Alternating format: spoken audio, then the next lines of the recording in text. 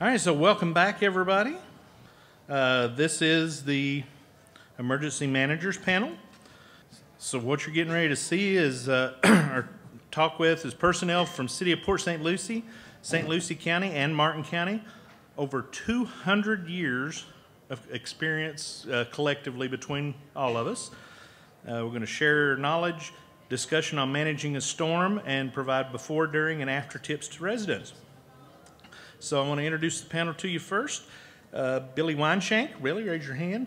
Uh, Billy is the Emergency Management Division Director for the City of Port St. Lucie Office of Emergency Management. Uh, Karen Kozak, Karen, is the Emergency Management Safety Planner for the St. Lucie County Department of Public Safety Division of Emergency Management. Sally Waite, Sally is the Martin County Emergency Management Director.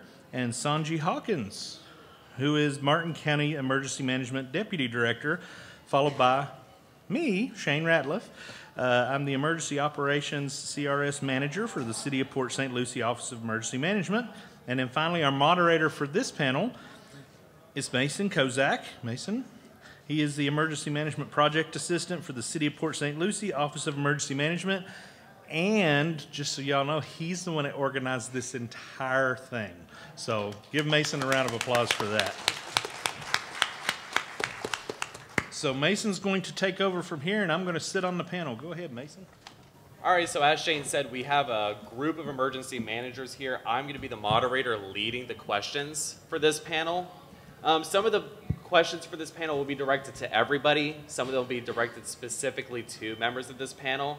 If you are one of the people that submitted your questions before this event via email, we've tried to incorporate it or we've answered you directly, hopefully, to answer your questions about hurricane safety or emergency management. Um, if anyone in the audience does have questions at the end, we are more than happy to answer it, or if we are not the right people to answer it, we'll direct you to the right people for this event. And with that, we're going to go ahead and get started. So, this first one is directed to everybody. It is emergency management is still a new field. What is emergency management to those that may not be aware of the profession? Who wants to go ahead and take that question? So um, what we do, I think it's easy to kind of define what we do instead of what emergency management is. What we do is we, when something big happens, it exhausts local capabilities. So that's like law enforcement, fire rescue. Can you all hear me? Law enforcement, thank you. Law enforcement, fire rescue, emergency medical, whatever. Once all of our local resources get overwhelmed, emergency managers get involved and we kind of step in and try and coordinate between the agencies. If the agencies don't have enough human resources or equipment, we'll ask other agencies um, to send their resources and equipment in. So we kind of like, when something really big happens, like a hurricane, like COVID, we step in and we work with other response agencies to try and get you, our residents, what they need to make it through okay. Thank you, Billy. Does anybody else want to give a try on answering that? May have a different idea. Shane, I see you going. Yeah, um, just wanted to say, contrary to popular belief, emergency management doesn't just deal with hurricanes. So uh, those of you who are not from Florida, you had emergency managers in those states too. Um, I did I did this in Kentucky, so I never dealt with a hurricane when I was there. It was uh, we were too busy dealing with tornadoes and floods. So, um, but yes, emergency management is is all around the country in every state, um, and it's not just focused on hurricanes. And we'll talk a little bit more about that in some of the other questions towards uh, that as we go through. Mason, I would like to add, if you know, if you remember nothing else about emergency management, what we teach is the three C's: communication, collaboration, coordination. So you want to know what those are. Communication, that's exactly what we're doing right now. Part of that communication is education, helping you prepare for whatever the hazard may be. And it's just like Shane said, don't think always about hurricanes because there's other events that's going on. The collaboration piece there, we have to interact with our community, our private partners, our um, non-government agencies, you know, the Red Cross, Salvation Army. The private partners have to come into this whole piece. And that coordination piece, we can't make it happen unless we have the whole community involved. So remember the three C's. And what I'll add to that is, in particular, when you think about responding to any emergency or disaster, it starts with preparedness. So this isn't just something that occurs just during a part of the year or during hurricane season. It's a year-round effort. It takes training, it takes planning, it takes working with our partner agencies year-round. And that is the most important thing, is that truly is a whole community effort, as Sanji was saying, and even as Billy had mentioned as well, is that it takes all of us working together, but it is a year-round effort. All right. So the second question, this is going to be directed to Billy, Sally, and Sanji. Uh, you three are all directors for an emergency management and agency, but Sally and Sanji, you're with a county agency, and Billy, you're with the city. What are the similar and different roles that the city and county fulfill? I know we kind of hinted on the different plays, but just wanted y'all to give an answer to that. Well, according to Florida statute, the counties have the authority to issue evacuations and provide sheltering to their residents.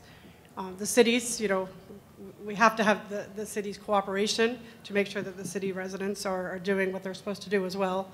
We have the ability to request resources from the state um, that the cities need, you know, for their, their, their residents too.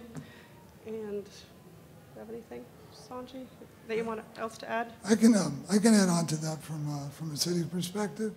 One of the uh, meteorologists, I think it was James Wieland and, and um, Mike Lyons, our first two meteorologists to speak today, they both stated that all emergencies are local, and they are, right? So locally in Port St. Lucie, we're, we're here for the citizens of Port St. Lucie, for our residents. And we'll do everything we can. We'll assist the county with evacuations, we'll assist with shelter operations, and all the other things, clearing the roads, um, working with FEMA and the state to open up shelters. I mean, I'm sorry, to open up uh, disaster recovery centers, like where we, where you would go to get additional assistance after the disaster, food, water, etc. We'll work and coordinate all of that on a local level. When we get overwhelmed, we'll go to the county. When the county gets overwhelmed, it goes to the state, and God forbid the state gets overwhelmed, it's going to go up to the Fed. But either way, we have like this chain starting at the local level, at the city level, moving up to the county, onto the state, where we're all working together to try and get you, our residents, everything you need to make it through okay. And just kind of going back, what Sanji said, a lot of that starts like right now, right? Educating you about what do you need? What, you know, what can you do to prepare? Things like that. And we all, you know, we all collaborate and work together. You know, in St. Lucie, we have a monthly or every other month, the city emergency management and county emergency management, as well as city of Fort Pierce, we all get together and talk about worst case scenario, what are we going to do to help everybody? So it's a team, it's a team effort. Absolutely. And just a question here. How would your agencies notify citizens of any disasters or emergencies happening in your jurisdiction? For Martin County, we use Alert Martin. We also um, use a social media platform. We have, you know, Twitter, Facebook, you know, all the, all the social media toys that are out there, but, you know, most importantly, I think we use the media to help us, you know, with all of our local media channels to get the word out. Um, But to residents in particular, we really use our Alert Martin system. You can sign up for Alert Martin. Well, We have Alert St. Lucie. We talked about, it's the same. They're all, they're all generated out of the state of Florida's Division of Emergency Management through a system called Everbridge. Too much information, but um, Alert St. Lucie, Alert Martin, Alert Palm Beach, whatever, all that rolls down through the same system. So you have to subscribe to this though. Uh, it's stlucieco.gov Dot, dot gov forward slash alert. slash alert, and then you register and you sign up for the alerts you'd like to get. And Karen, can they go out to y'all's booth in the art gallery for that information on Alert St. Lucie? Yes, um, so you can see uh, stop by the St. Lucie County booth, and there is that information there as well. If you go to the St. Lucie County website under search, you could put in um, alert St. Lucie there, and it'll uh, bring you to the link to where you can click on it and go and register as well. Thank you. So aside, let me just, aside from that, we also coordinate with our communications department here in Port St. Lucie. We push all that information out through social media, through the, through our website as well. So, and we work with local media too, like the meteorologists that were here. We're talking and working together behind the scenes to give you, to give you like a, the same picture, right? You don't want to turn on channel 12 and hear one thing and channel 10 and hear something else. So we're all working together to give you like a coordinated message. Thank you. And Hold this is to Mason. the, Uh, There was a question. oh, what Yes, was the ma'am. question? So I get the alerts uh, on my phone, on the house phone, but I didn't get the some of the hurricanes and after a while there's no cell phone, there's no phone, there's no nothing. So then what? Um, the question for those of you that could not hear that is what if when my power goes out and I don't have access to my phone, I can't get reception? How do I get that information? Um, does anybody want to take a shot at answering that? I know there's some good answers for that. Karen? Sorry, Sanji. No, going. it's going to be your weather radio. So do you have a weather radio? the NOAA? Yes, ma'am, the NOAA. So again, part of the preparedness piece, when we spoke of that earlier there, is to help you prepare. So yes, you may lo- lose electricity and stuff of that nature, but you still want to be informed. I still have a landline phone. I know people think that's, right now, why do you still have one? If nothing else works, you can plug it into that wall and you will continue to get some type of information. That weather radio, that's going to be another option for you. So we can't just depend on one thing. You're going to have to have some redundancy in your preparedness as well. So again, now text messages generally will continue to come through, even on your smartphone. A text message will continue to come through. So again, think about redundancy. If you don't have a landline, make sure you get your radio. You can go to Walmart or any places like that. NOAA, N-O-A-A, weather radio, alerts continuously come through that. Okay? Thank you. That was a really good question.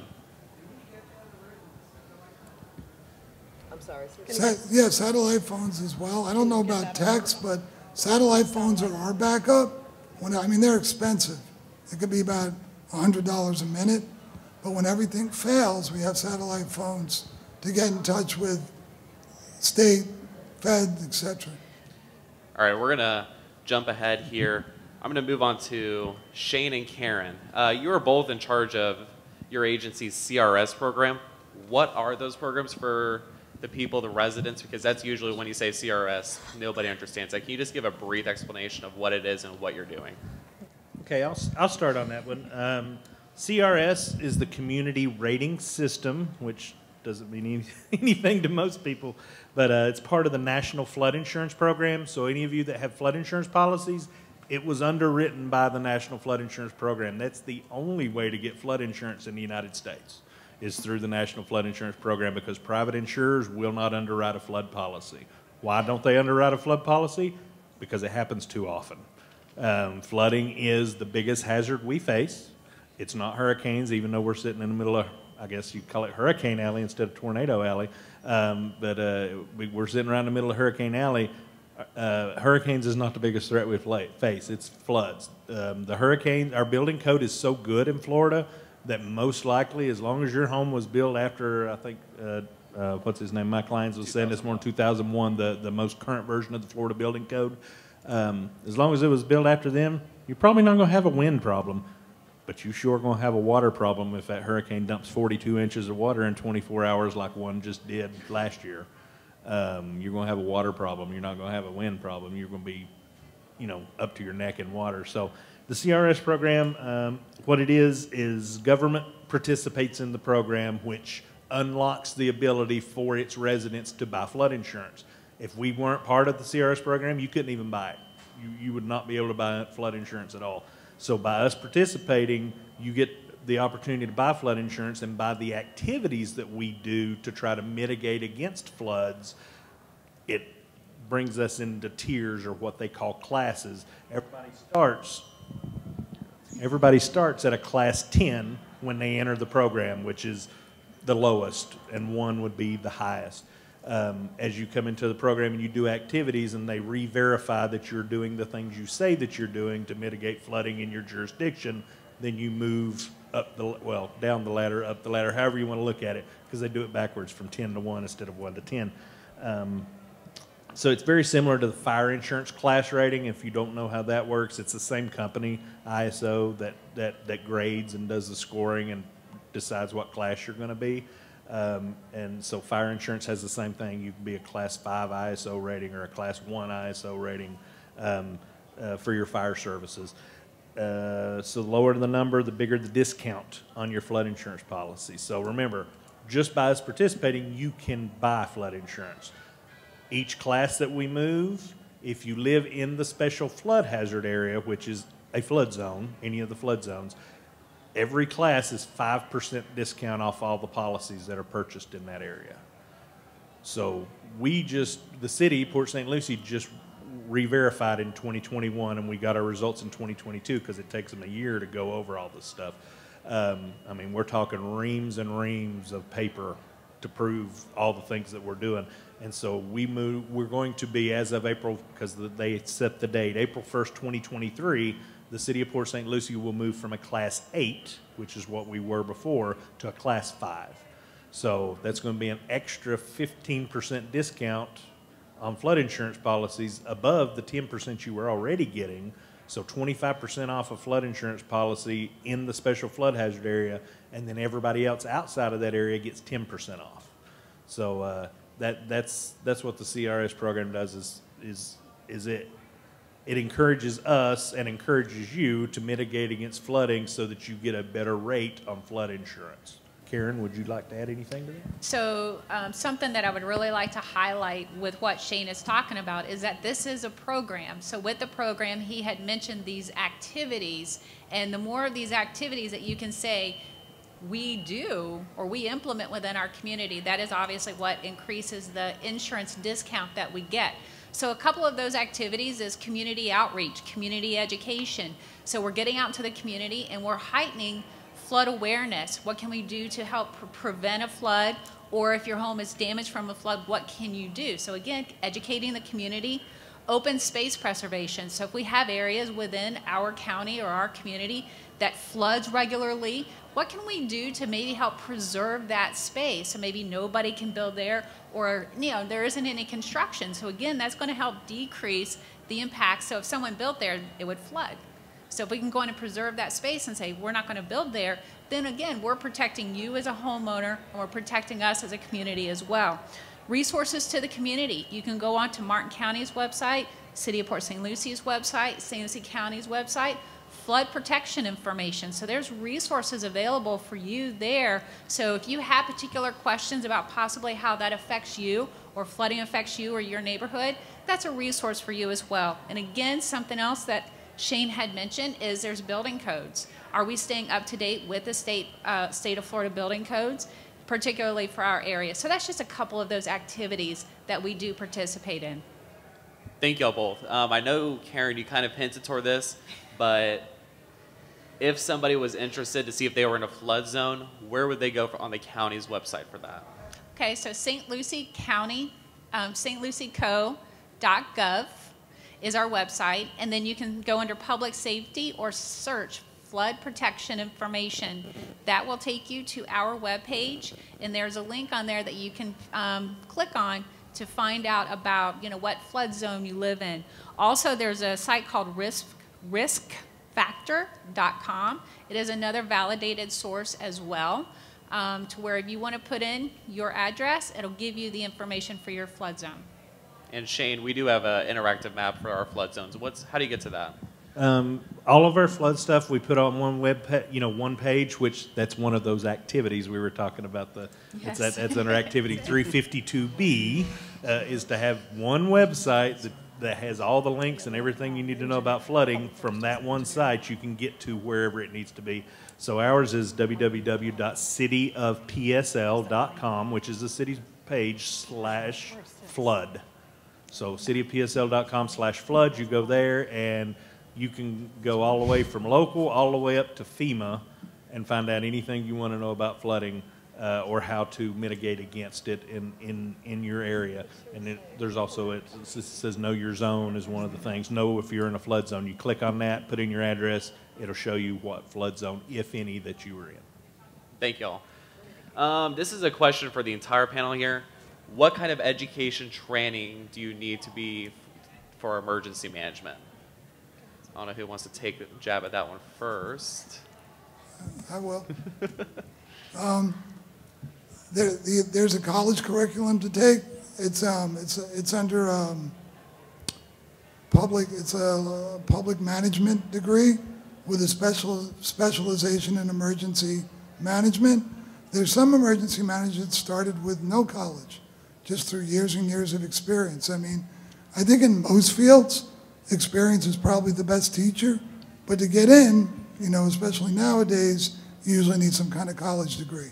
So I would say a bachelor's public, uh, bachelor's degree in public administration with a specialization in uh, emergency management.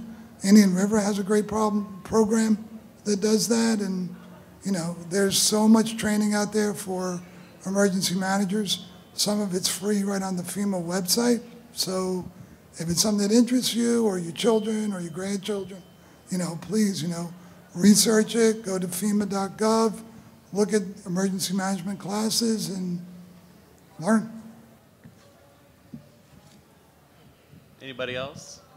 Um, yeah, I've got just a couple more. So, some agencies, um, depending on where you are or how many people they have, a lot of it has to do with how many positions they have to fill, um, will ask for some kind of certification, uh, such as an FPEM, uh, which is a Florida Professional Emergency Manager, which is given by the Florida Emergency Prepare, Preparedness Association, uh, or a CEM, which is an internationally recognized certified emergency manager by a company uh, uh, or a nonprofit called IEM um, and the International Association of Emergency Managers. So some, depending on what position you're looking at, like if you wanted to be a director somewhere, you probably need to have something like that because that shows that you have all these years of experience. Because with having all that experience, you probably have somehow uh, lucked your way into getting one of those certifications as well. Um, but then FEMA requires that all EM staff and anybody that's you know working on uh, in disaster management, and these anybody can take if you just want to learn. Um, uh, they, it's called the FEMA Independent Study Program. Um, so if you go to like uh, Google and Google FEMA Independent Study, um, the, the classes are 100, 200, 700, and 800. Those four classes at a minimum everybody has to have. And then depending on whether you're in leadership or, you know, whether you're uh, leading groups of people and stuff, you may have to take like I, uh, 2200. And then there's in-person classes, which you won't be able to take unless you are in emergency management. But uh, you can take, they- they've got like 900 classes, I think, now. I mean, there's like 900 independent study classes. So if you're bored and you want to learn more about how to uh, how emergency managers think and work, go there and just knock yourself out. Because I know I've had people come up to me at conferences uh, who weren't in emergency management that said, "I've done 72 uh, FEMA classes." I'm like, good for good for you. I have not, but good for you. Does anybody else want to add on to that? I will. Okay. So most of y'all are probably pretty familiar with the large wildfires that happen out in Florida and on the west coast of the United States, right? So when you think about those large fires, you know that's bringing in a lot of different agencies that has to work together. Sometimes these are agencies that are maybe from within the same state, could be neighboring states, could be even from the other side of the country. The most important thing is, is that when all these different agencies that come together that maybe have never even seen each other or to practice together or train together, we're going to have to be able to respond together in a very organized fashion. So there's a lot of these classes that we take that is put on at a federal level um, that helps us with training, communicating, um, working with our partner organizations, and there's all these other trainings and classes that emergency managers are expected to have to be able to work together. So there's another um, layer to that. So there are these trainings that we do take called incident command system classes, and those are these classes that we do take so all of us up here can work together to help respond to serve our community. Thank you. Um, another question I have for the group here is we've talked about hurricanes, flooding. What are some other threats to this community, disaster related, that would y'all would think about that kind of keeps you up at night? Uh, Well, I would say, just after, you know, just infrastructure in general, um, we've seen, you know, what happened in, in Fort Lauderdale um, with the high-rise structure failure. Uh, We actually had a structure issue with the Roosevelt Bridge. You know, those things are, those things are what we consider a hazard in our community. Um, And we talked about hurricanes, and hurricanes to me are, that, keeps me up at night because I worry that people are complacent because we haven't really had a, a severe storm to the Treasure Coast in a very long time. But seeing all of you, all of you out here, you know, wanting to listen and wanting to be prepared makes me feel a little bit better about that. Um, but there, you know, there's, there's, there's terrorism, there's active shooters. These are all things that can, you know, become disasters. So I guess we all stay up a lot at night. For me, um, being from an area where hurricanes weren't prevalent, tornadoes is what keeps me up at night because in, in, in the tornado belt where I'm from, that's all they talk about. Just like all they talk about down here is hurricanes, but people don't talk about tornadoes down here. And Florida gets as many tornadoes as Kansas, but they're usually EF zeros or EF ones. They're really low grade, not very strong tornadoes. But when one of these hurricanes comes in, hurricanes usually have tornadoes. They're wrap, they're wrap around tornadoes within them, and you could easily have an EF three or EF four. And I lived through, you know, emergency management lived through a huge tornado outbreak where it took out entire cities. Um, and, and I mean, you get no warning. Like we we are so lucky in Florida that you get three, four, five, six, ten days warning that a hurricane's coming. You get 35 seconds warning that the tornado's coming. You don't get to evacuate. You, don't get to run away from it. It's going to hit you. So that that keeps me up at night. Is having it, the way, way the weather is keeps changing. I'm afraid we're going to start seeing crazy stuff like big tornadoes in Florida. I'll add um, one thing to that. One thing that really, like, you know, aside from if I get my wife angry, that's very scary. But um, one thing that keeps me up at night is, is um, unexpected floods. Like Hurricane Harvey is a good example. That was, you know, that was like huge flooding that I don't think any city's infrastructure would be, or counties or whoever's infrastructure would be able to keep up with. And we have a saying as emergency managers run from the water but hide from the wind. The, the water is the most deadly thing, right? If you look at like the statistics of who died from hurricanes and how they died, most of it is from flood. I'd say about 85, 90%. So if we got some kind of an event where we're getting like 20, 30 inches of water dumped on us per day, per 24 hours, it's, it's, uh, I, I, it would be very, very difficult for all of us. We would deal with it. We'd keep you safe, but it's um, it's a scary scenario. And as Shane was saying, things are getting a little crazy in the weather world. So that kind of thing really uh, worries me. Before we open up to uh, final questions, I just do want to ask we've already given some preparedness tips. Does anybody else want to add any preparedness tips for what people should do before the storm, before an event? Billy?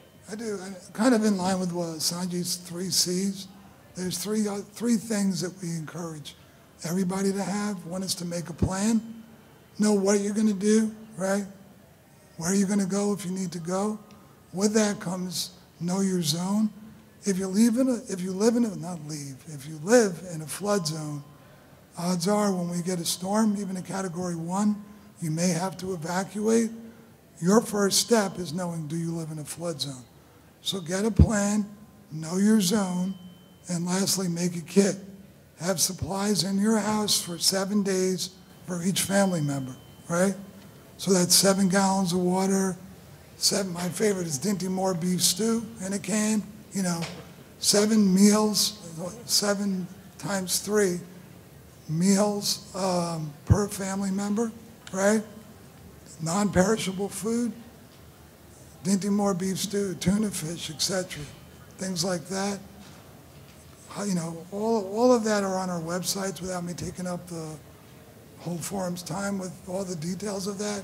It's on our website. I'm sure it's on mm-hmm. Martin and St. Lucie County's website. So please, those three things, know your zone, build a kit, have a plan. That's instrumental.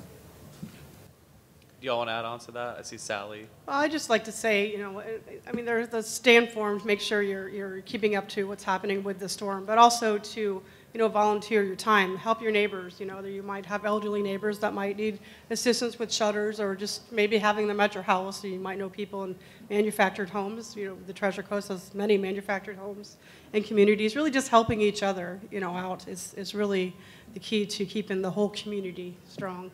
And Karen, I saw you got something. So as we're talking about planning, um, you're thinking about your entire family. That does include pets. Do you have a plan for your pets? Do you have the food for your pets as well? Um, for St. Lucie County, the uh, general population shelter that is pet friendly is Westwood High School. So again, that's just something to kind of keep in mind as well is your entire family, and that is just something I wanted to mention. And Sanji. Yes, so on top of that with the shelters, understand where your shelters are. I don't like to say make sure that shelter's your last resort. Part of your plan should be finding somewhere to go that's safe. Remember, if you're going to a shelter, you don't have a private room. Nine out of ten chances you are in a gymnasium with about 200 other people. You have a small space, 20 by 20, right? No. No? Smaller. 20 square feet. 20 square 20 square feet. So that's about the size of a cot. They will give you a cot. If you think about if anybody ever went camping, that's what you're going to be sleeping on. So right now, think about. So if you're in a modular home, and if you have um, family and friends that has a brick home, see if you can stay with them. If your pets are your concern, call the Humane Society now to see if they will board your pet. We do have service animals. Do you know what the service animals are? There's only two that we will allow in the shelter. Does Anybody know what they are? Lizards. No. Gila monsters. Small ponies. A dog and a small pony. So when we have individuals that's coming to these shelters with boa constrictors, little dragons, iguanas, and all of those, they may be emotional support animals. Don't see how boa, boa constrictor would be, but anyway, that's just my take on that piece right there. But yes, that you have to remember. So part of your plan is where will I go because I really don't want to be in a shelter. But if that's your last resort, please shelter. My senior people, one more. Sorry. If you're living in Florida, most of our seniors, they live in Florida, please let your adult children know where you are. Because many times that phone call we get is, can you tell me where my parents are? Remember to let them know if you're evacuating, where you're going. If you're going to a local shelter, share that information with them because they are worried about you just as much as you're worried about your neighbor. So that's my only thing with being that preparedness. My, my tip is very short, sweet, and to the point. Uh, was given to me by my great uncle, God rest his soul, many, many years ago when I was probably eight or nine. And go figure, I'm the flood guy now, so this makes even more sense. Hot's on the left, cold's on the right, and water does not run uphill. So get to high ground. Um, thank y'all for your time. Does anybody have any questions for this panel before we wrap it up? I know we ran a little over time, but I think it was some good information that was given out. Going once, going twice? Yes. Where do you get the preparedness? So, like preparedness information, how to stay. Um, I would recommend, just to kind of answer this question, go to the city's website, cityofpsl.com backslash hurricane. There's before the storm. There's an option to look on it, and you can you can build a kit, have a plan. It talks about all the plans you can build, and I'm sure Martin County and St. Lucie, y'all both on your websites have information about having a plan and stuff like that. If you remember ready.gov, ready.gov, that's FEMA's website, it gives you everything, even a checklist to help you prepare. If you can't remember any of our websites, remember that website. Thank you. Mm-hmm. Any other questions? Yes, in the back. This is not considered a shelter here at the event center, no. It's usually the shelters are through the uh, St. Lucie County Public Schools. You can go to both of our county and city's website. You can look at the shelters here in the county. Oh, and mentioning shelters, especially special needs, you should register in your county if you need a special needs shelter or you know someone that needs a special needs shelter. And that's also on each of our websites. Yes. So the other thing to keep in mind when we do talk about shelters, Mason mentioned it, you know, it's usually the schools. Um, when the media does start announcing that they are going to open up shelters, please listen to which shelters are they are opening. Because just because they say we're opening shelters, it doesn't mean they're opening all of them throughout the entire county. So please just be aware of which shelters are being opened at that time. All right. Any other questions, anybody? Amazing. Thank All right, thank y'all for all coming out. Thank you.